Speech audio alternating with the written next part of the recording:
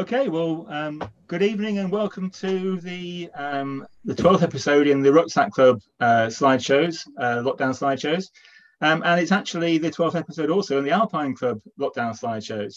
So if you uh, magic your way back to the seventh of April, um, many of us were here on a Zoom call somewhere, um, and uh, I actually presented the first Rucksack uh, slideshow unbeknownst to us at the time, uh, only a, a few um, mistyping of a Zoom address away, at exactly the same time, on exactly the same evening, uh, the Alpine Club was starting their virtual slideshows. Um, 12 slideshows later each, we finally pulled our um, efforts together uh, and we assembled an absolute crack squad of elite mountaineers and alpinists to uh, ascend the six great uh, north faces of the Alps. Uh, we're taking uh, a couple of weeks to do that, but just an hour at a time. So um, a couple of hours to six North Faces isn't bad. And it's undoubtedly the strongest team that's uh, set foot from these shores, uh, perhaps since 53, he says, ironically. Um, so uh, we've got three shows this evening, um, the, the trilogy, if you like. We'll be picking up with, uh, first of all, the Grandes Jorasses um, with Nick Wallis and Martin Cooper. Uh, then we're going to have a trip up the Eiger uh, with Cec Rhodes and uh, Bill Deakin. Uh, and finally, we've got Andy Kirkpatrick taking us up uh, the Matterhorn. Uh, I'm going to hand over to the guys in a moment, um, but just as added bit of extra um, mood setting, Leo Dickinson's kindly chipped in with some time-lapse videos. So I'm just going to very briefly share you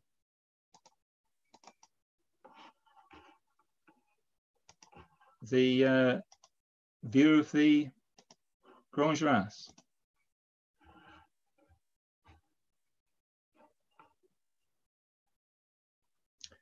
Hopefully you're seeing the Grandes Jorasses.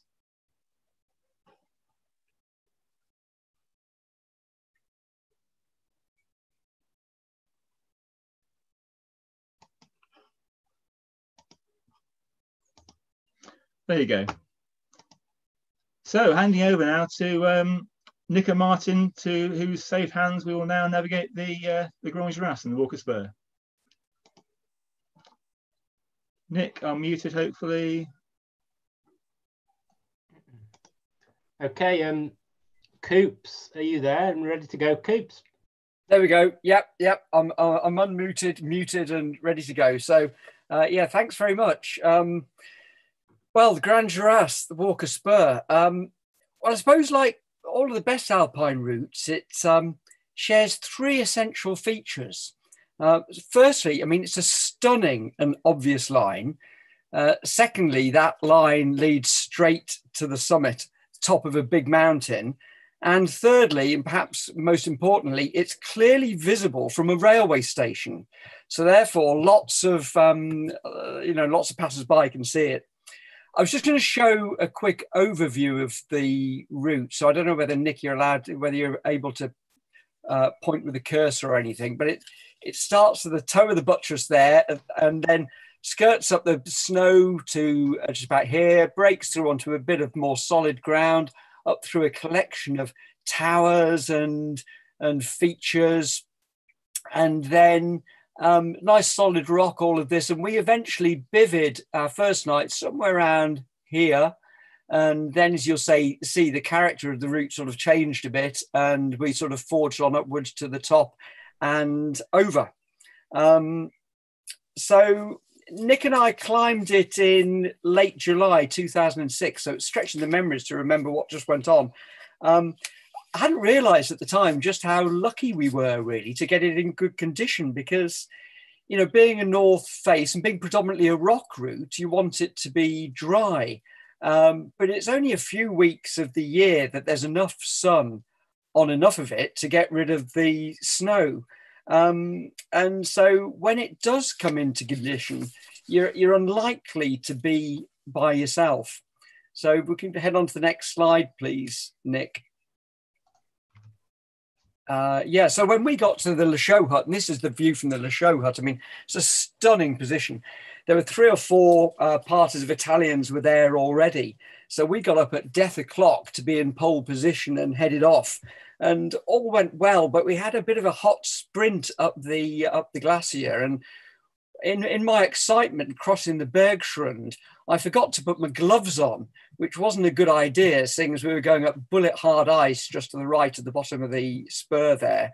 And my axe was just one, I just had one little sort of toffee hammer axe, as my friend John Morgan would call it, a light alloy axe. So um, I think my hands were red raw by the time I, you know, got to the rock itself. I think uh, I left a trail for Nick to follow. He just followed the blood. Um, and anyway, that got us off that bit, thank God, and onto the rock itself. And it starts off sort of fairly easy angled. And um, it's a bit indistinct to start with. And we, we went too far left, which meant that the pesky Italians outflanked us and got ahead of us. Um, and then on to the next slide, Nick. First real obstacle you come across is the Rebuffat crack at about 6A that then blends, you step sideways into the Pierre Allain crack at 6A plus. And Nick thought I was being very gallant in offering to lead this pitch, but it was really just so I didn't have to carry the rucksacks. And I think Nick probably had to carry both rucksacks on this. So he was the one doing the real tour de force on this. Um, and so, I mean, most of the rock's very good. Uh, it really is. And of course, it's in a stunning, stunning position. And here's Nick climbing in sort of camouflaged stealth mode. You can only see a, a little helmet, the rest of them in disguise to try and catch up with the uh, pesky Italians who had who had got on ahead of us. Um, so you head up this, and then the most obvious feature of possibly the whole route is this 75 meter dièdre, mm-hmm. which um, gives two or three pitches of brilliant HVS climbing, really well protected, really solid. Um, above that, the roof uh, route gets a little bit uh, less obvious, a bit more, but the rocks the rocks really good. Uh, there's all sorts of black slabs and grey towers and grey slabs and red towers, and Lord knows, I mean, Lord knows what they all were. The, the, easy thing to do is just to follow the Italians, which is what we did. And here, here they are. There was a there was a bunch of them, and they were a cheery bunch, and um, sort of scaling the peak to great cries of recuperamo, which is, I think, Italian for take in. So we were still soon saying exactly the same, which they thought was hilarious. But um, I mean, it's here we were in the big north face, and it's crowded, and not the place to go if you're socially distancing. I don't think. Um, anyway, headed off after the Italians. As we headed up, the rock that gets, um, you know, the day became a bit more uh, sort of dramatic, and you get fantastic views through the cloud over to the um, you know billowing clouds up from below, and over to the side you see the Croz Spur, and it was then we thought, right, we're we're about ready to done for the day, so looking for somewhere to bivy, and over to Nick. Thank you very much, Martin. Um, so yeah, that, was a, pretty long day. We we're pretty tired, but we were treated to this pretty spectacular sunset and um, over the Chamonix Aiguille that you can see uh, and the and the distance there. Um, and uh, for some reason, I, I, really can't explain why I decided not to take a sleeping bag. Um, so pretty enviously looking at Martin here as he unpacked his bag, which included a sleeping bag for him. So um, I had a duvet and a and a kind of bivy bag that I also discovered was full of loads of mesh panels. Um, so it was a pretty chilly night for me. I think um, Martin had a marginally better night. Um, not the best of bivvies, but kind of, you know, good enough. And um, the morning kind of came all too slowly, really. But we were treated to this amazing sunset, and it's you know pretty amazing place to be spending the night. Um, so yeah, next morning um, woke up and kind of this is what we woke up to, which was sort of not ideal, really. Um, so pretty grey skies from the off, which was a bit worrying, um, and, a, and, a, very icy chimney full of lots of in situ Italians. Um, and this all took a while. I mean, it was pretty, pretty difficult climbing, pretty slow going. Every stance had, you know, at least two people on it. So there was a lot of waiting around. Um, and, you know, eventually we slowly got going. And um, one of the Italian pairs, is a very strong father and son, team who'd been, you know, they're clearly very good rock climbers. Um, and I think the the father was a very good mountaineer. The son was definitely less interested once it got a bit snowy, as you can see here. So they just called for the chopper on their mobile phone, up down a few pitches, and called the chopper in. It's utterly spectacular watching this chopper come in below us and pluck these guys off the face. Yeah, And just amazing. Um, so I think that's them there on the on the flatter bit of the spur below. Um, and you know, I can't say I blame them really. It's it's kind of pretty hostile up here. It's it's definitely not a rock climb. Um, very mixed, um, and you know, pretty pretty tenuous, I would say. Um, so anyway, on we went. This is kind of into the red red chimneys. So we're so we're well up up near the top of the route now. Um, but proper mixed climbing and like like Martin said, we'd we'd taken really lightweight ski touring style kind of aluminium axes, one each. You know, definitely not ideal. And I think if I did it again, I'd take a proper axe. Um, I think Coops had some vaguely sensible crampons. I had bendy aluminium crampons as well. You had the um, sensible axe and the silly crampons, and I, I? had vice versa. Oh, okay. And you know, you're standing up on these little edges and you're watching the front points bending and oh just thinking about it now i'm kind of sort of wonder what were we thinking but anyway we got away with it so it's kind of all right but um yeah i think i'd take proper gear if i did it again um so anyway yeah traverse out rightwards under the red tower and it's kind of pretty pretty difficult climbing there and you know really icy um you know so some of the hardest climbing there and while we were in that section there was kind of a big electric storm kicked off as well. So rumbles of thunder and lightning. And, and at one point, I remember quickly placing a few bits of gear, then lowering back down to try and get a bit a bit lower off the ridge. Um, fortunately, you know, it was it was quite short lived and it passed quickly, but could have been pretty serious. We, we were totally committed at this point. Um, so luckily that that passed and we were able to carry on. And this is right near the top of the route where the where the walk, where sorry, where the Colton Mat comes in from the right, and kind of the last pitch, last pitch to the cornice. Really, that's me kind of just going through the cornice, and um, you can see it's definitely not um, rock boots and chalk bag conditions. Um, kind of topped out into a total P super. Um, fortunately, the thunder and lightning had kind of, you know, had gone away, so that was a bit of a relief. Um, and we started the really long descent into, you know, down to the Boccalatte hut, on the Italian side, which is, you know, it's really long. You know, there's probably a fair number of you have done it or know it. Pretty involved. Um, it took all the rest of that day to um, to get down to the Boccalatte. Um, and this was the next morning outside the hut, um, taken by some German guys who were in the hut, I think. Um, and yeah, pretty tired, um, but pretty pretty chuffed to you know to get get up the route and everything had gone kind of okay.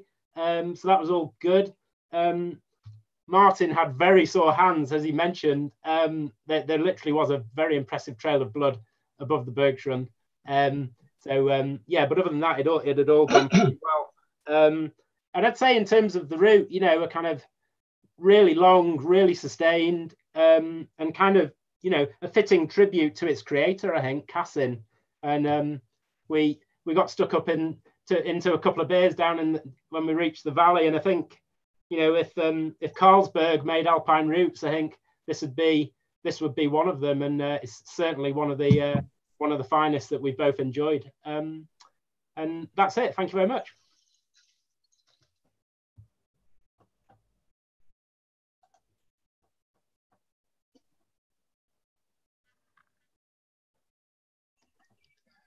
Uh, this is silent applause. We'll have some proper applause later on for everybody uh, when we've uh, sorted the tech out. But uh, Brilliant. Thanks, Nick. Thanks, Martin. That was uh, really exciting. And those of you, hopefully you're storing your questions as you go. So we'll um, be able to pick up those at the end. Okay, so next up we've got um, the Eiger. And again, just to set the scene, I'm going to just share you another Leo Dickinson um, time-lapse presentation. This one's a bit more moody. Here goes. don't know if Bill and Cec find that um, recognisable in terms of the general level of um, moodiness going on there. Yeah. Yeah. I won't play the whole minute because actually you don't get to see the North Face at all, really, to speak of. you get the idea. Okay, in which case I'll hand over to uh, Reg. Tony, fire up your um, projector and uh, off we go. Yeah. Can you hear me clearly? Yeah. Am I on, Dom? Yeah. Am I on? yeah.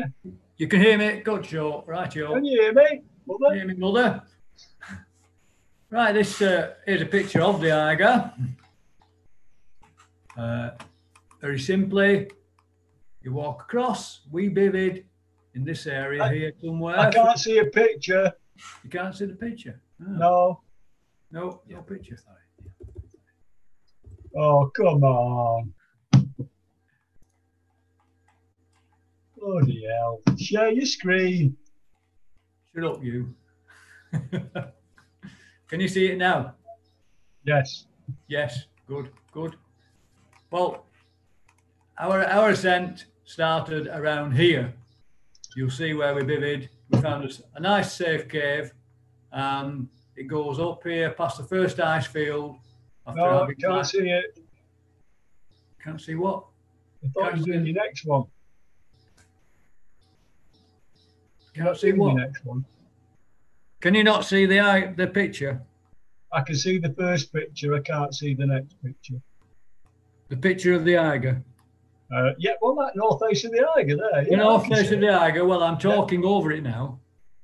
If you if you can bear with me, William. I'll zip up. It shows you the. All right then. Next picture, Dave. Thank you. There we are. and we bivvied down here to begin with. We found a safe bivvy. no, Uh, we didn't. we climbed. No, we bivvied. We bivvied just below the Stollenloch. No, do you want to do this? Or shall I do it? Or you Oh, do? no, you do it. We bivvied here to begin with, down in a cave. And then Oyster up to what we thought might be the Rote Fluh, but wasn't there, uh, to the second ice field. And then we bivvied here at a very opportune spot called Death Bivvy. And then we carried on, and I'll describe the top part when we come to it. There's a bit of a tale there. Well, hmm. this story really starts in 1963 when I was 17 and Bill was about 16 or 15. Oh, younger than that. Bonington and Clough, he always maintains he's a lot younger than me. He's not. But he doesn't even look it. Uh, Bonington and Clough climbed it in 63 and they No, gave, a, didn't. they gave a 62. slideshow. 62 says. Thank you, William. All right. They gave a slideshow in Manchester at the Free Trade Hall, which impressed most of us no end. And we thought, wait, it was just a dream to us. We never thought we were up to that kind of stuff. Bonington was a kind of god, and so were his contemporaries, and we were just run of the mill climbers. Uh, come 1992, and we're now mid 40s. And we're off to the Alps as usual. And suddenly, and I have to say, it was Bill who said it, let's do the Eiger. I said, okay. So after a Saturday night at Maine Road, Manchester, watching the Rolling Stones live, we wandered over to Switzerland fairly quickly. Camped there. The next day, by the Tuesday, we were going up to Kleine Scheidegg. Uh, it was a good forecast, and we walked in that afternoon to Bivy, low down, as I have mentioned, uh, below the first pillar. Uh, the attraction, of course, of the Eiger is the approach. It's a doddle. You catch a train up and you walk across. It's brilliant. It has some disadvantages, but that's one advantage. Uh, so there we are, train up to Kleine Scheidegg, walk across a bivvy. Let's have a look, Dave. Now, this is a bit, uh, not a very good picture. These are very old slides. This is in 1992, so these are slides. This is the Can I just correct you before you go on? It's 1990. It's 1992, and Go on then. and here's Bill in the little cave that we found, perfectly safe. Carry on. And Bill worked at the time for British Vita, and the the, the, the, the small factory he ran for British Vita produced a, a pillow called the Eiger pillow, and there he is, hoping to get in on his PR uh, with it in with his PR people with a picture of the Eiger. On the Yeah, Eiger much for sales, I've got to say. Yeah, yeah. I had to put up with this kind of activity all the time. I, of course, carry on, Dave, was busy wandering over away from the that's the that's the cave we vivid in, and I wandered over to this ice over here. So we carried on up now, and we're heading towards a difficult crack. Dave, there we are. We're roped up now. We're in uh, all the correct gear for the 1990s. Notice the uh, the gaiters. I thought you were going for the reconstruction of the first ascent, Cec, actually. Thank you, William. yeah, yeah. And it's fairly easy or reasonable climbing. No crampons needed. The weather's looking good. And we're headed towards a difficult crack. Here we are, Dave. And this is Bill. Fairly early in the morning. It's chilly. He's got big boots on and he's got a grade five pitch. And that was no accident, by the way. I'd worked it out about 100 meters before that, exactly where I would have to belay so that the final belay I took was below this crack, and it was Bill's lead. Not an accident, but he, he ploughed on up very competently. And it's quite good climbing, you know, it's quite pleasant climbing. No stonefall at the moment, nothing like that, right, Dave? And then you start to plod across the first ice field towards No, the you don't. No, you Towards don't. Hinterstoisser. Stop bloody contradicting me, will you? Well, you know, we're near the first ice field. Right, we're going across this ice towards the Hinterstoisser. Next one, Dave. Here we are, where the yellow arrow is. So we're at this point now. Right, Dave. And this is a view from the ice. You can see it's uh, very attractive ice. It's covered in bits of uh, stone. It's rock hard, of course, so it's it's okay for climbing up. Uh, and I think that's one of us on the Hinterstoisser. That's you at the end. Me at the end there. Right. Carry on. Yeah. Only because you got the fixed ropes. yeah, we've done the fixed ropes on the Hinterstoisser, uh, which I pulled on merrily. We did look up and hope we would see this um, this ice hose feature, but it wasn't there. It's not. It's not there. It's not been there for a long time now, apparently. And it's just wet slabs up to the second ice field. And here we are, ploughing away with all the latest gear, as you can see. Looking happy as Larry there. Uh, you can see there's no glass here below us. That's the fields below. So it's a, it's almost a roadside crag. This really. Carry on, Dave. Beyond that, we're now on the Flatiron area, and we're heading up to just below that cliff there, where we were looking at this time for a, a bivvy site. And I remember at this, we not had not a trouble with Stonefall, and Bill took his sack off at one point, just here. And the, the moment he took it off, a stone hit him right in the middle of the back, so he put it put it back on fairly quickly. But that was really the only serious trouble we had with Stonefall. Stonefall. I think we were just lucky. It was good So weather ploughing up. conditions, though, wasn't it? Sorry, Bill. It was good weather conditions. we It had. was good weather, yeah. Yeah, I think we got lucky with the weather. Um, next one, Dave. Hell. Uh, we're now gone up the second ice field, and at the point of the arrow, underneath the arrow is the other words death bivouac. We arrived at this suitable, what I thought was a suitable bivouac site, bit wet, but sheltered from rockfall. Uh, and there aren't that many big suitable ledges that you can have a good lie down on. And this looked like, you know, we could just lie down on it. We had to move along a bit, and it was at this point that Bill actually told me where we were. You know where we are, don't you? Death bivouac. So it was quite eerie, really. Anyway, the night, you're right, Dave. Fairly decent bivouac. Uh, there's me drinking the tea that Bill's kindly made. The weather's still looking good.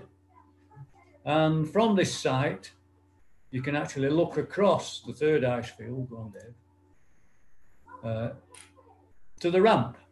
And this is next morning, Bill crossing that third ice field he's got his crampons on now, and we're- from here on, we wore, I think we wore crampons all the way to the summit Yeah, I think we did. because we'd got it, it had started to become, you know, the rock was getting icy in places. So you wore crampons all the time, I think, from now on. Carry on, Dave. Uh, he's, that's me coming towards him across that ice field. You descend slightly to the ramp. Right, Dave. You climb the ramp. I thought we had a picture of the ramp, but we don't. Now, the ramp's got some three and four on it. It's about, I don't know, eight, seven or eight pictures. Good long pictures. And you have to climb with your axes handy. This is some ice at the top of a pitch. Bill's just coming up here. And it was here he, he reminded me, this is called the tier, apparently, this piece of ice. And it's where the first solo attempt failed. The chap, poor chap, I've forgotten his name, but this is where he fell from on his fir- on the first solo attempt. Uh, It was Adolf Mayr, actually. Adolf Mayr, yes. Yeah. Yeah, These names are imprinted on my memory. Yes, when you when you're on, this route, you're permanently referring back to the white spider, aren't you? You, you know, it's uh, there's loads of little stories about all all all the way up, really. So uh, Most of them aren't happy stories, are they? no, they're not happy stories. no, no, no. no. Uh, again, the weather's holding for us.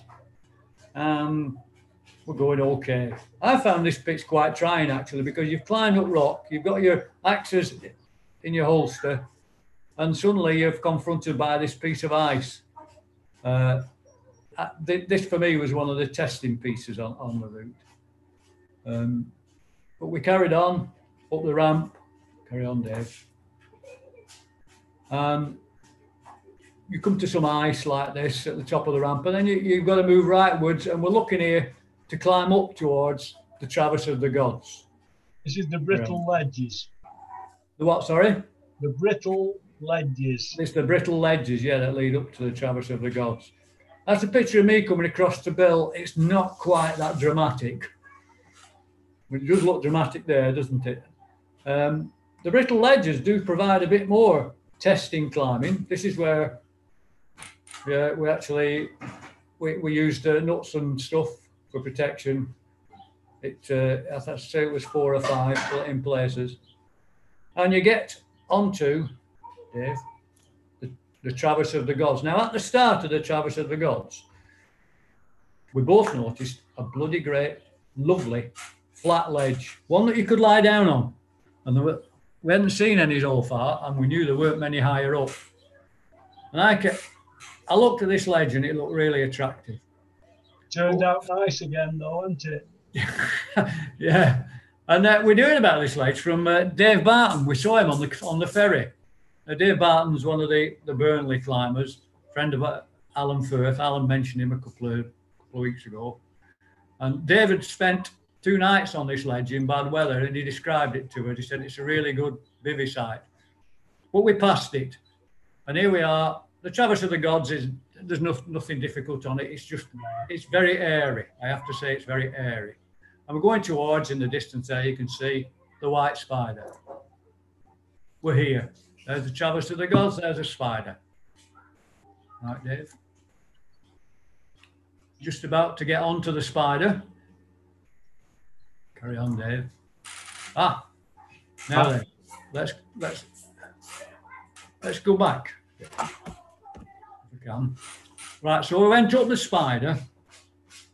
No, he didn't go up it.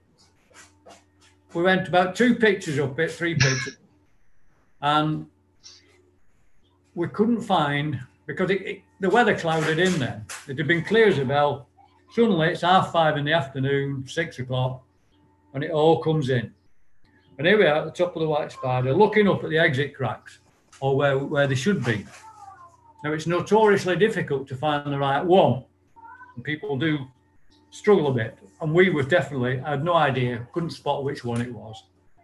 And my thinking went like this if we carry on up here now at six o'clock, we ain't going to get to the top by nine or half nine or whatever it was when it went dark. Climbing in the dark on ice rock with crampons, no, I don't fancy that. We knew there was no decent bivy site, so we were looking at a night in, uh, as described many times in the White Spider, hanging on something, just sitting in your harness. And that definitely didn't appeal to me. My back was killing me. And I, I kept thinking about this lovely flat ledge.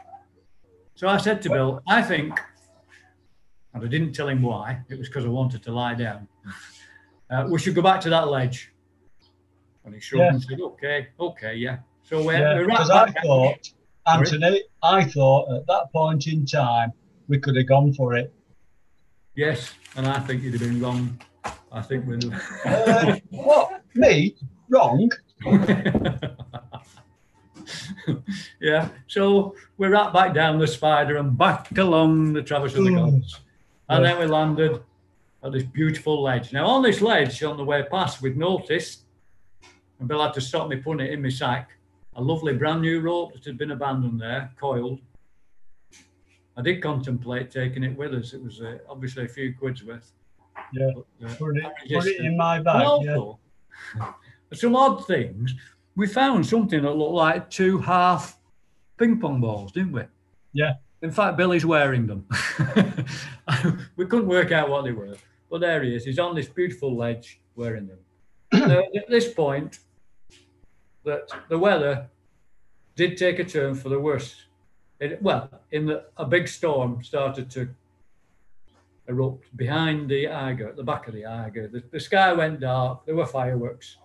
About 11 o'clock at night, the skies lit up, and obviously storms wandering around. And at this point, Bill, who, who, who had been a he'd been a manager all his life, and in best managerial speak, as they do when they shift the blame, he said, "I hope you're happy with your mountaineering decision." As if it was entirely my fault. but I just shrugged and I recognised his, uh, his management speak that I was familiar with. Uh, we had a good night there, I have to say. Uh, Can I just stop you there again? Because yeah, you had a good night there. Because Oh. there was only room for you to lie down. well, I thought it was only right and proper because I had the backache. Yeah. sure enough. Yeah, yeah, we had a good night's kit. Well, one of us did. and we ate. Carry Yeah, on. It was, uh, yeah, it was very pleasant. It was it was okay there, and it was it was protected from any stormfall, which is, is a constant worry on that. Carry thing. on. carry on, carry on, Dave. There we are. There's me looking very happy. Carry on, Dave. And here's Bill coming up the White Spider. Uh, it's, it's quite a steep bit of ice, really. And of course, it's the funnel for all the stuff that comes down from the summit. But we, I think we were lucky. Look at that weather now. This is next morning. Hey, did I make the right decision? Of course I did. The weather's lovely now, and we're set for the summit. And it all went well, really. Carry on, Dave. My partner, this is my son-in-law here, who's, who's a bit of an IT whiz, so he's doing this. Uh, Really? here we are. We found the exit cracks. And by the way, this is where we both felt a bit of admiration for Anderl Heckmair, who did all the leading on the original ascent. Because I have to say, when it, when we were just considering it, I said, well, it's done in 1938, Billy. It can't be that bloody hard. Uh, Heckmair was a pretty good climber. I mean, some of this stuff, especially on these exit cracks, he was no mug. And of course, you're on ice up rock a lot now. You're in your crampons, so uh, it does concentrate your mind. But we were we were okay. Here we are. You, oh, look at that sunshine on the summit there, Mm. or in front of us. And this, this is where I, I actually got summit fever and suggested we unrope somewhere up here. But Bill wisely said, "Don't be daft," and we didn't, fortunately. Well, we went up the, uh, the final, the summit ice field. And I'm glad he said don't do unrope because I found that I broke my front points and I was uh, scrabbling away on ice with no front points or on my feet. But we're on the summit. The weather's changing a bit. We had some snow on the way down, but we didn't care because we'd finished. And the route, the way down's quite, it's quite straightforward, really. We took our time. Uh, dealt with it. It was snow cover, but it didn't really matter. Uh, yeah, so a good ascent for us. We enjoyed it. And uh, the other thing was, Cec, we didn't see another person. That's right. Ah, yes, yes. We and that worried me at one point. I thought, do they know something we don't? At one point, it worried me all the time. yeah, yeah. You're on this big face and nobody else is on it. You think, what? Do they know something we don't? Because about three days later, we went to Chamonix and we went to do Martin and Nick. We went to do the um, Walker Spur. Walker. We vivid on the on the, the Mer de Glace, and we got on the approach slopes, and we could see 18 people sat beneath the Rebuffat crack. So we'd come off this big hill, no one on it. 18 people sat beneath the Rebuffat crack, and we decided, hmm, we gave up. Then we we we went back down, along with quite a few other people who were waiting for another day. It hasn't happened yet, of course. okay, that's it. Fantastic. Nice one, Cec. Success. Yes, fellas. Success. Well, brilliant. mate. I this. It's some skills. Some skills. It's Well done. Thank you, everyone. Let's give you a bit more. Brilliant. Okay, and um, on to the um, the third of our holy trilogy. Uh, we have a very quick uh, look at the uh, the Dickinson picture mood setting again. So uh, so we go with that.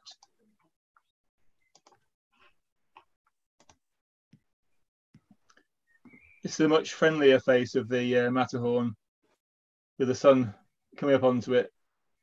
Absolutely magnificent.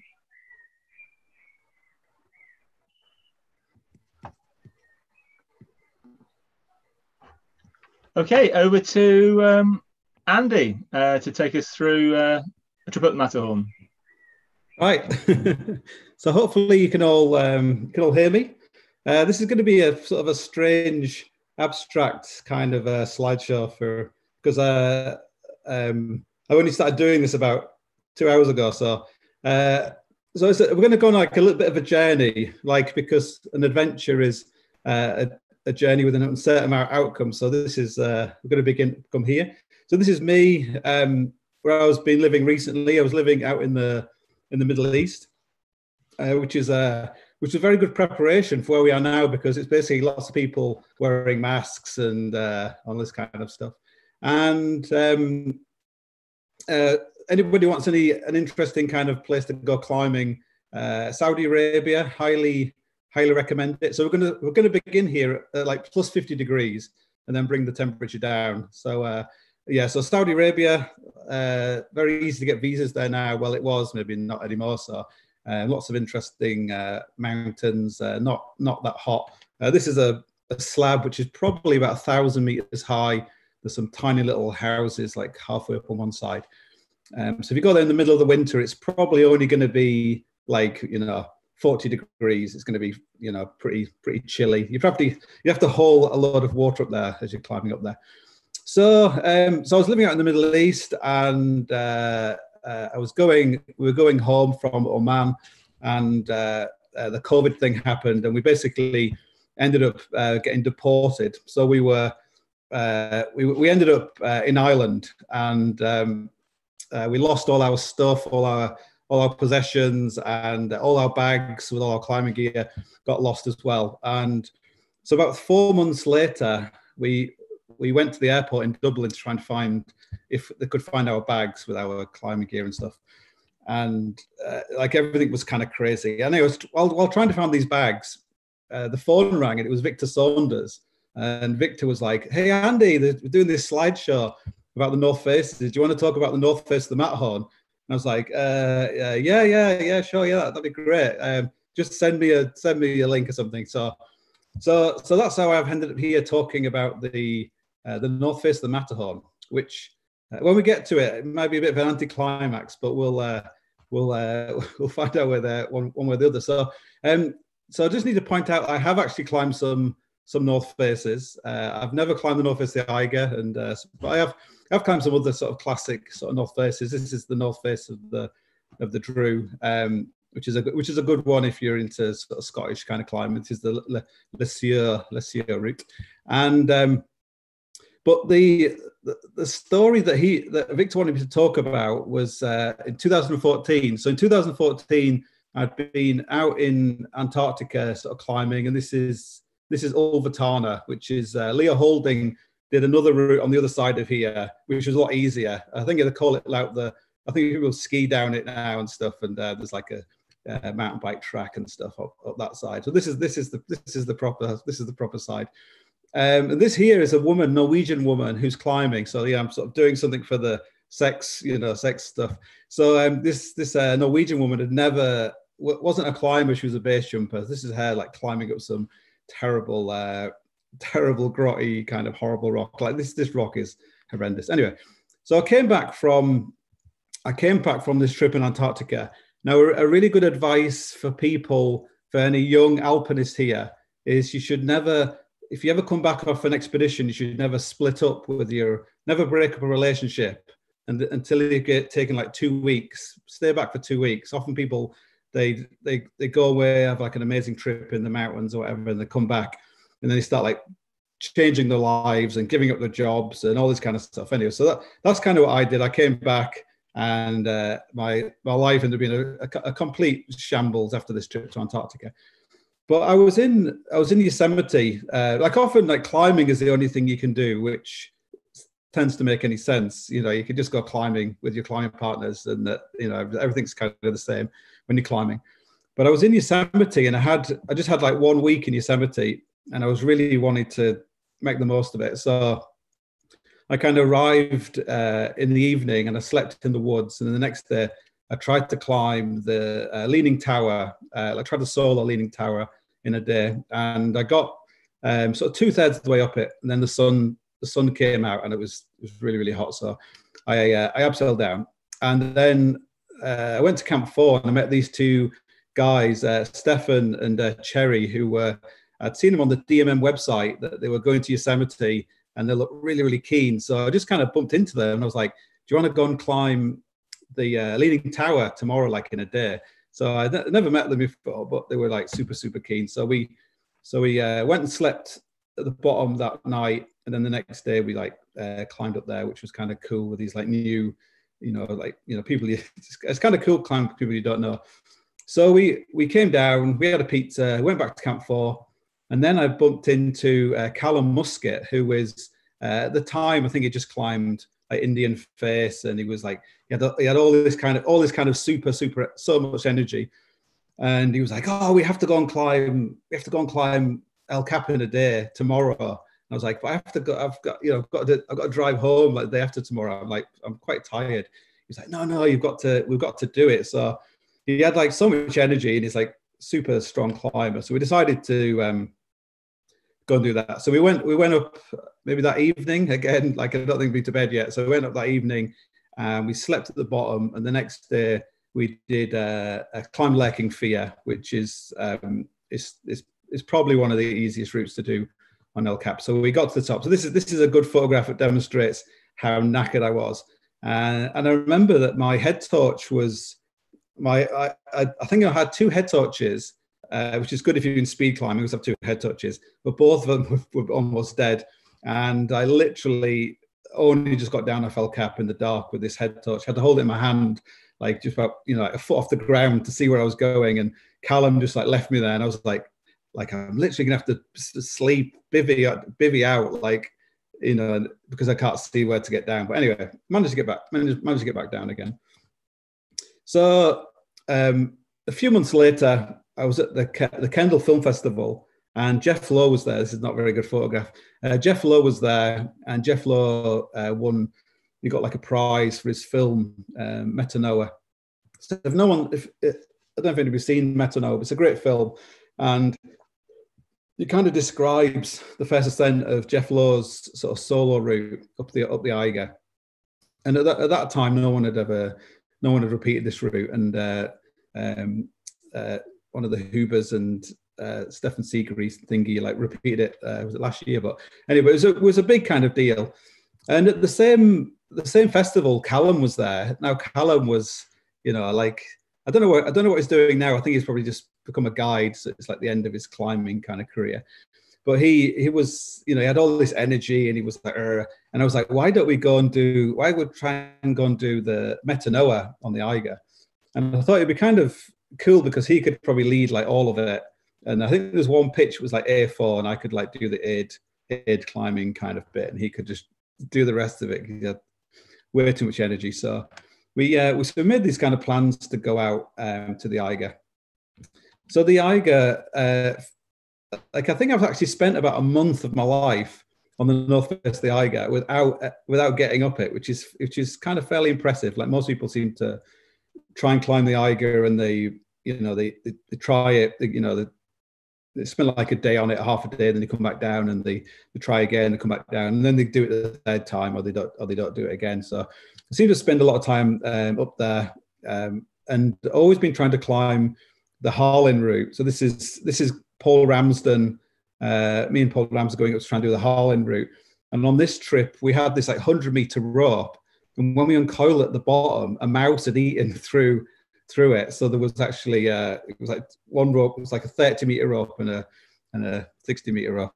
So um so it was kind of it was kind of doomed. And I remember we we like slept at the very base of the first sort of steep pitch of the Harlin, and uh, it started snowing. It started snowing about one o'clock in the morning, and it just snowed for a little bit, and then the alarm went off at like four in the morning, and I was like, I was like, I don't think we should go. I think, I, I think we should. I don't think we should go. And uh, and he was like, okay, so we laid there a little bit longer.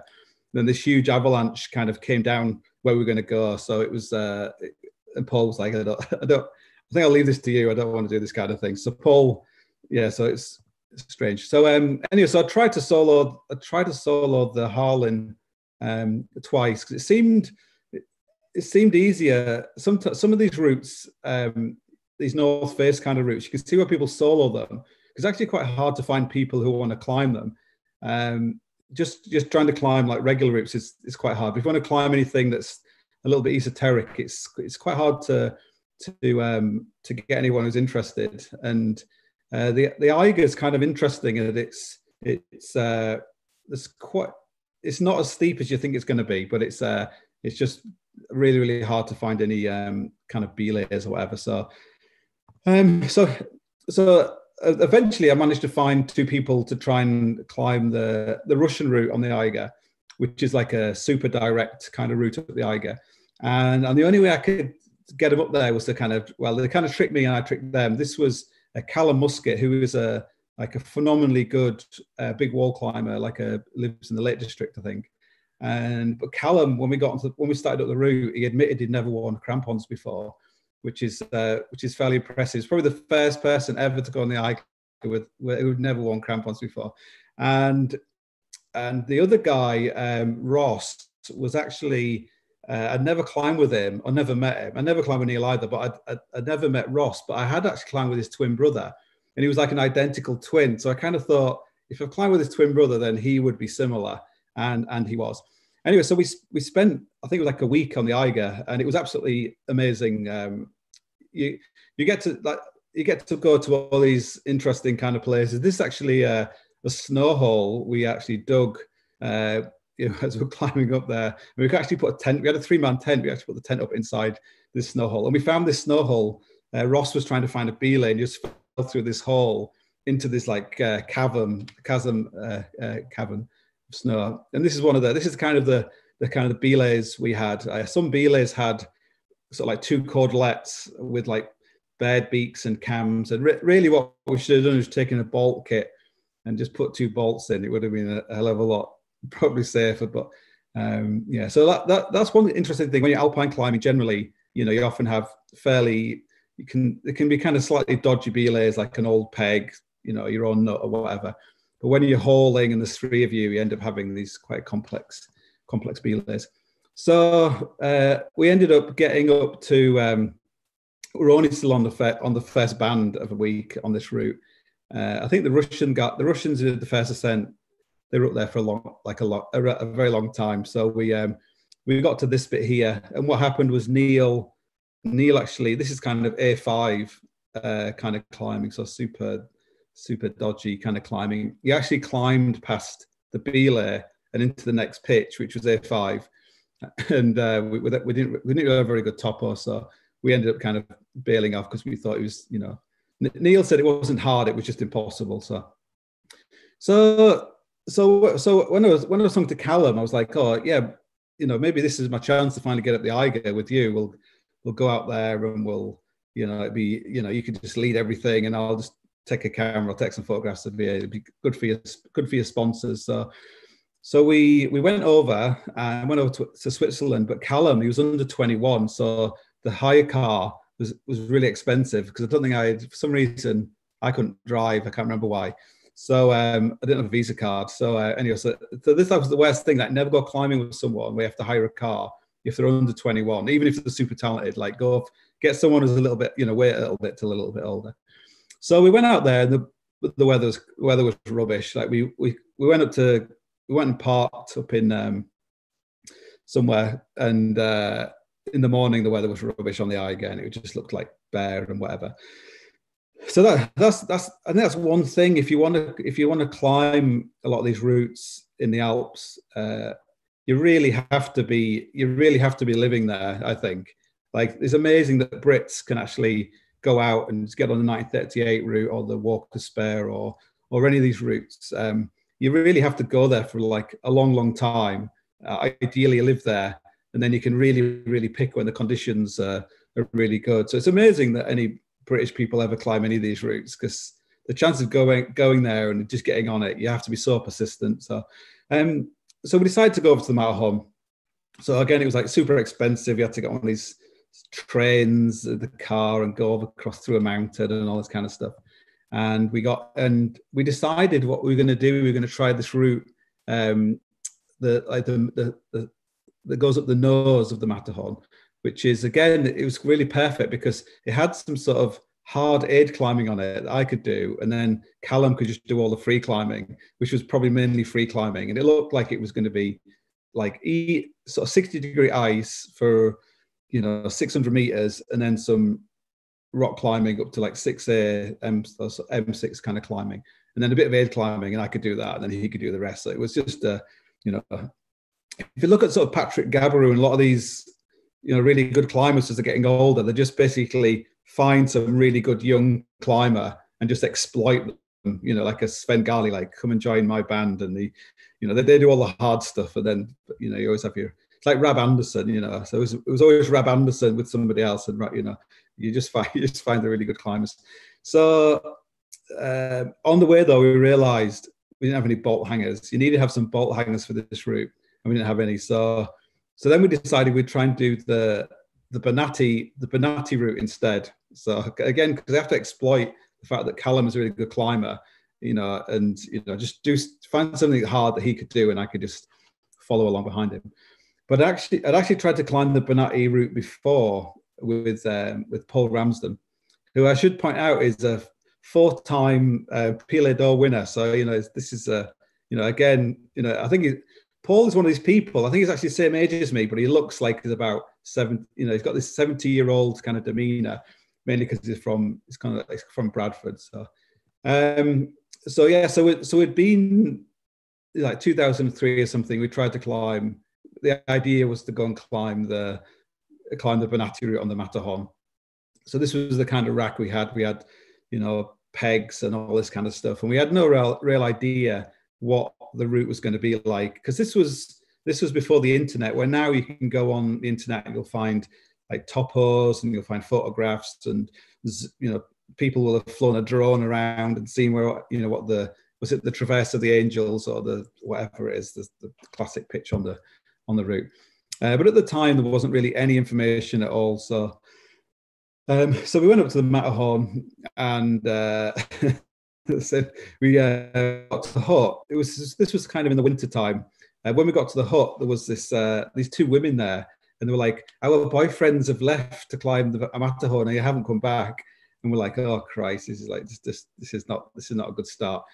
And uh, eventually, they they kind of came back at like midnight, and they were all frozen and everything else. So they survived. And then anyway, so they went off, and then uh, the weather the weather wasn't very good, so we sort of sat there for a few days, and we, we walked down to Zermatt, and then we walked back up again, and then uh, the, the weather was like a little bit better, so we we we had a go, but um, same kind of thing. The weather was the weather was uh, crap, so we, we we climbed. We you know maybe we climbed like one pitch or something. We just moving together, and it's like this isn't very good. So we we came back down, and it's interesting with Paul with Paul Ramsden. I, I did loads of, I did loads of trips with Paul Ramsden, and nearly all of them were a complete failure. And I think I don't know I don't know why. I think sometimes if if both people are really really well matched, well, not saying I'm well matched, but at the time we're probably quite well matched. That you kind of psych each other out. You want one person to feel slightly better than the other one. If, if you, and if, if you know what I mean, it's quite an interesting psychology. Um, like I always thought he was better than I was, and he always thought I was better than he was, which was not a good way to, you know. I, but with Callum, I knew that Callum was a, a hell of a lot better than I was, so that's what we did. So we so we went up to the Matterhorn, and we uh, the hut was closed for renovations, and the only room was this uh, little tiny kind of I don't know what it was. It was like a, a toilet or something that was kind of open in the winter. So we we just like slept in there, and the weather wasn't the weather wasn't great. Uh, uh, I think we found a packet of M and M's, a big packet of M and M's, and I think that Callum like ate all of them, which was a bad start for the for our partnership. And also had one of these thermarests, which was full of uh, crisp packets or something, because every time you moved all night long, it was like someone was laying on loads of crisp packets. Uh, so the eventually we decided to to head off and sitting there for such a long time. Um, little things like Callum had like this thermarest, and I was trying to imagine how he would sleep on the Bonatti with his thermarest. I thought he'd just like slide off down the mountain. So I was like, oh, that's probably, I was like overthinking it, and so we decided we would just try the North Face route. So we we headed off across the ice as I've done a few times before. Started started climbing up, and it was like it was it just wasn't going to work. It was too cold. Just there was the wrong vibe between me and Callum or whatever. Um, my life was in a total, still in a complete mess at the time, and uh, so we were like, let's just go back down. So we, so we have to back down. So um, so I think actually this talk, this I've actually been set up by, I've actually been set up here because I never actually climbed the North Northwest of the Matterhorn. Like I've literally climbed, um, you know, like 100 meters up the bottom of it, and that's it. So I think Victor Saunders is just, you know, he kind of tricked me into the slideshow. So I do apologize everybody for listening, and um, this was this was his wild card, I think. That you know, so um, yeah, well, and that's it. Thank you very much. May not be packing heat, but Paul and Nick are hoping they Fantastic, Andy. So, I mean, not only are you not a member of the, of the Alpine Club, but you haven't climbed the Matterhorn. I mean, that's fantastic. But uh, a brilliant story. Really enjoyed that. So, thank you so much. rubbish. So now we're off. I'll mute everyone so we can give everyone a, a team um, round of applause. So everyone's I'm on mute. being Now have a tribute to monstrous family round of foraging applause for all three. Well, I, I grew up surrounded by rhinos and I would go out you know, Fantastic. Thank you so much. What are you doing on uh, mute? the raspberries. They'll start Okay, and now I'll meet you all again. Um, so uh, the s- trick now is if you could do um, any questions for all the um, the three uh, teams. Whilst you're pondering that, if you would, I'm just going to have a quick um, commercial break with upcoming uh, productions. So uh, again, I'll just share my screen there. Hopefully you're seeing there my screen. Um, so first up, next week um, we're back on their own program. So the Alpine Club are doing um, a uh, an Alpine um, story uh, with um, a pair of Nicks, Nick Simmons, Nick Smith, and Rich Live, all talking about uh, some Alpine capers. Um, from the Rucksack Club point of view, we're uh, also on a kind of a diverse mix. Um, got a bit of Alpine stuff with Jack Hollywell, um, but we've also got some ski touring with Steve Smith, uh, and we've got uh, Claire and Ian Wilson talking about uh, an, an Ecuadorian uh, expedition. Uh, so a, a whole um, fun jumble of stuff there.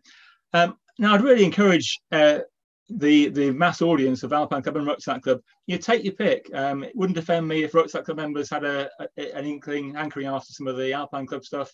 Vice versa, Alpine Club members welcome to come and join us in Ecuador if that uh, takes your fancy. Um, then we're back together again on the 7th of July, where we have the second um, trilogy of the uh, North Faces. Uh, so we'll be on the Dru with James Thacker, uh, the Piz Badile with Ian Bryant, and I'll be bringing up the rear um, on Cima Grande. Um, and that pretty much will wrap up the rucksacks program for the, the summer. Um, before I go to the questions, I just want to interject with a, another bit of a um, two minute commercial break if I can. Not a commercial break, but um, uh, so just kind of uh, I've been pondering. Um, so 12 weeks ago, uh, we were started lockdown, we started these slideshows. And I guess uh, in hindsight, what we're looking for was uh, we were missing the mountains, missing being able to get out and do the stuff we love and uh, enjoy, climbing, walking, mountaineering, whatever. And we're missing the, the camaraderie that comes with that um, from club members, friends, what have you. Um, then it got to strike me that actually, okay, we've got three months without climbing. So many people haven't discovered climbing yet uh, and are, missing out on this amazing thing that we all share. And um, why don't we try and put a little bit back? So uh, this is a um, little plug for a, a charity uh, called uh, Urban Uprising. And what these guys do is um, use climbing to elevate and inspire. So they take people from all backgrounds, usually disadvantaged, introduce them to climbing as a way of helping them discover themselves, discover uh, others, um, and, really build their confidence and, and maybe establish a love of climbing going forward. Um, so it's a bit cheeky. I'm sorry to hijack the event for just two minutes, but I'm going to share the link um, to a Just Giving page. Uh, and if you feel um, like you'd like to share that aspiration, um, then just please click and, uh, and donate. Um, I would say the other thing that uh, strikes me is that um, when I look at the, the Zoom screen of 150 people, most of us are old, most of us are white, most of us are male. Um, and if we can do something for bringing diversity into the climbing world uh, through organisations like this, then I think that's to be praised as well. Um, so enough of the uh, advertising break. Uh, I'll stop there. Um, I will copy the Zoom link to the chat, um, but then I will uh, get back to questions. So uh, if you would, um, questions, folks. Uh, I've got um, Many thanks for organising. Uh, yep, that's not a question, but thank you, Jez. Um, actually, Andy, I've got a question. Um, it was Neil Chelton you were on the Eiger with, mate, not uh, not Callum Muskett. Uh, uh your oh, first oh, yeah. name check was uh, was uh, oh, wrong. Yeah. Neil. Oh, did I say Neil? Oh, yeah. So it was Neil. Yeah. Yeah, it was Neil. Yeah. He told the me a very different Neil. story about the rope. He reckoned you bought a really big rope chopped it in half to make two really quite big ropes, and I had to knot it together when you find out they weren't quite as big. So oh yeah, that was uh, that was another yeah that was another rope incident. That was yeah. yeah, we had a hundred we had a hundred meter static because right when I tried when I tried to solo the Harlin, you could only get you seemed to get good belays every hundred meters. If you had a sixty meter rope, you were kind of screwed. So we had these we had a hundred meter lead line and a hundred meter static, but when we pulled it out the bag, it was two 50 meter static. So we had to we had to pass the knot every time we hold the hold the bag. So yeah, that's a, well remembered. Yeah, yeah, that's a great story. I love that one. Uh, other other questions from the uh, assembled audience. Um, so one cropped up during the discussion, which was from um, I think Martin to say, do um, do Bill and Cec always argue that much, and do they still climb together? Um, uh, so uh, Bill, Cec, would you like to comment on that? Uh, am I muted? No, you're unmuted, mate. Oh.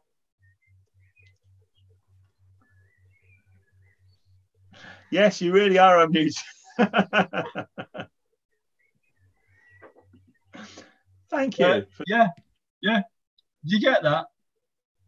We got the drift. Yeah. Uh, where is he? Hiding. Where's Reg? I'm going to go. Did you, uh, did you know? Screen. I tell you what, the thing that got me about the north face of the Eiger was 1930. Well, 1935. There were two lads that got to death bivouac without doing all that Hinterstoisser stuff. And uh, unfortunately, they died there. I, I, know that it's a bad thing, but they avoided the Hinterstoisser. Uh, amazing. And apart from that, um, I wish I could have found their line actually. Dom, Thank you, Bill. I, I, I've got a question for myself. Uh, go ahead, Martin. Well, it's actually my Wow. friend Ollie, my friend Ollie, who's alluding to the fact that I am, well, actually, I was, I am no longer a member of the Caravan Club.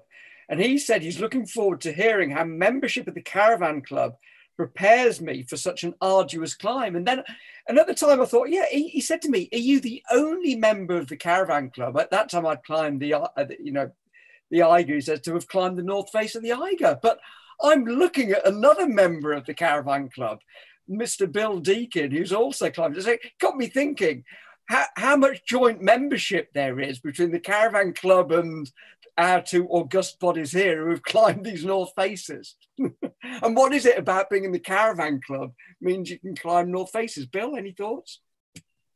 Has it got to this? yeah.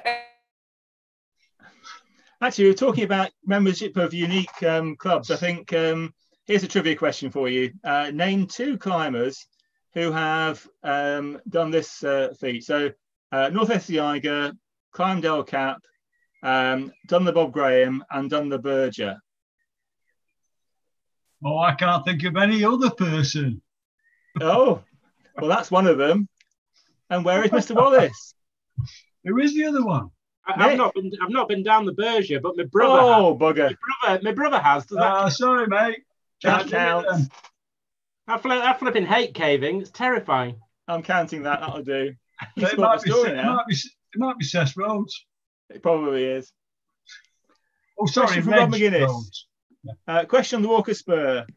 I'm After they met the Italians, oh, I'll, I'll try and unmute you, Rob, and you can ask yourself. Hang on a second. If I can find you.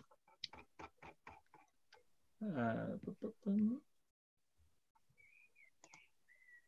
okay, you can ask yourself, Rob. Go ahead. Uh, yeah, no, um, there's uh, just a, on a slide or two on after the lads met the Italian guys. There was, um, I wasn't sure if it was a bit of fixed rope or an anchor or something in situ, but it looked like um, some. I couldn't work out what it was, but it's some red metal by the ropes and uh, in the crack, and I, I wasn't quite sure what it was. I just wanted it didn't look like normal rock protection, so just wondering if it was a, a little. Is there fixed anchors on it anywhere, or is it was it Uh, just Yeah. something I'm imagining seeing? Yeah, I can't. I can't. I can't remember the. You know, I can't remember the details, but like like any of these faces, there's bits of old fixed gear all over the place. You know, Yeah. old pegs, tap, bongs, you know, all sorts. So um, you know, it would just be another bit of that, and there, there, there- you know, there, there's there's bits like this strewn absolutely everywhere, and you can't, you know, you can't trust it, and you can't um, can't follow it. can't you can't follow it either because there's plenty of it, you know, where you don't want to be going. Right, yeah, it's not a helpful uh, sign of the right route then. Yeah, No, it's- definitely not. Definitely in a few places it take you off route. Um, Yes, it's probably in a lot of cases it's best avoided. Um, you know, um, right, fair enough. not, I mean, there's there's not many that. It's bits of tap, but there's probably not not many things that you'd really want to trust. I don't think. Uh, were there, Nick? Really? no, no, In fact, you know, same on the Eiger as well. I think you know, Bill and Cec might have a comment, Yeah. but yeah, every everywhere on the Eiger you could imagine you could put a peg. Um, that there's already a peg. You know, you'd, you'd struggle to place a new peg. You know, almost anywhere. Yeah, and they, and they were pretty shit, weren't they? Yeah. Um, Yeah. There's a lot of fixed kit on these routes, and a lot of it's really old and really, you know, of an unknown vintage. A Question for Nigel. Yes. Anything coming on the uh, YouTube uh, chat, Nigel? Uh, no, not yet. Um, just uh, a couple of questions, uh, a couple of statements, really. I'm loving the heckling, and uh, people enjoyed it. Um, so Uh, yeah, Bill, No Bill and. Cec are available for Panto season. It's uh, they're booking now. Um, just uh, I wish I wish we could do otherwise. It's not, it's not an act. Where is he? I've lost him. Where is he? any more questions from anybody out there in uh, in Zoom land? Going once. Maybe not. Oh, we've got a hand raised. Hi, Paul. Uh, I'll just unmute you. No. Hang on a sec, Paul. I just got to get you unmuted.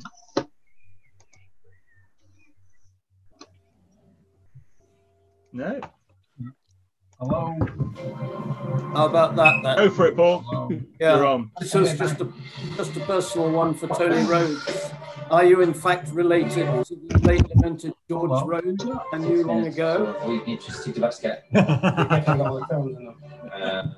Is this the disco version? I can hear music. I can't. I couldn't hear the question then. Try again, Paul.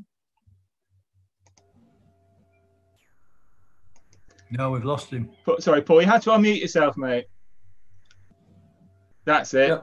For yes, for the second or third time. Trying again. A personal one for Tony Rhodes. Are you by any chance related to the late lamented George Rhodes, whom I knew long, long ago? Ah, no, I, I, I'm not. I'm not Paul.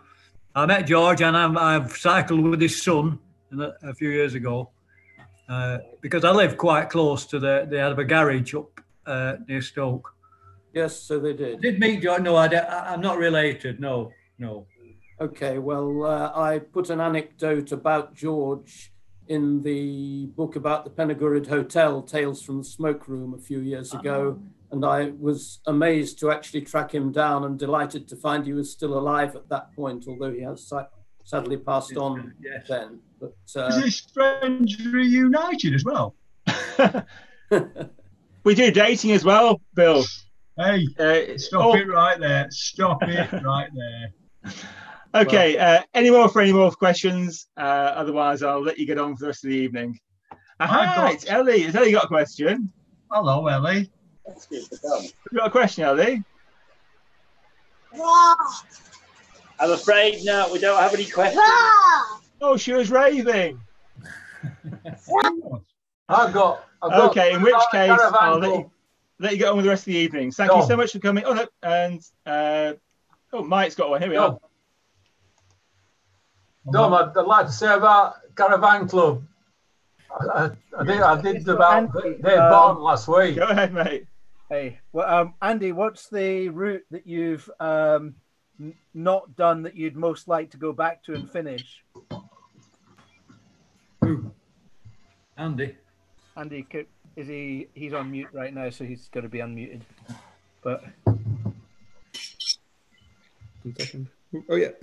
You're good, yeah. Um, prob- probably the Harlin, I think, just because it's um, it's got so much interesting sort of history and uh, you know it's kind of such a classic kind of story, isn't it? Really, the Harlin on the Eiger. awesome. So the one. Tom, I've got a quick question. Go for it, John. Hey, it, uh, quick question for Andy. Um, Andy, what are those pictures of boats behind you? Uh, I'm, in a I'm in someone's house. Is actually a sailor, so it's the the Uh-huh. house is full of pictures of boats. So all right, yeah, right. this, is in, this is in Dublin. Okay. Hey, listen, thanks for showing up to this auspicious evening. that's that's that. oh yeah, it's my, my pleasure. I'd, Okay, I'd just before like you leave, can you, um, do copy and paste the link I've just shared on the uh, on the group chat for the uh, Urban Uprising and uh, show your appreciation for the fun and games we've had uh, together over the last uh, 12 weeks. Um, any more for any more? Any I'd questions? just like to add about the Caravan Club. Oh, go, mate. Dave Barton's a member of the Caravan Club, and he's done all the six, five of the four of the North Faces. There is something in it then. Yeah, and he's been up the Matterhorn, but he got chased off by the police. So for parking in caravan Mac- police? Zermatt. Not, not chased off by the caravan police. no, no, not the caravan police. Oh, goodness for that. Nice one, Dom. Thank you. Thank you, everybody. Good night. And Thank you, uh, Dom. thanks for a marvellous Thank you. evening. Thanks, Dom. Well done. you, everyone. Thanks. Good night, everybody. Thank you very much, Dom. Everybody. Good night, Reg. Very entertaining evening.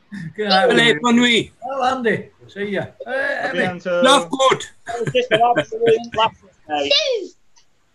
Hey, gehen Sie weg!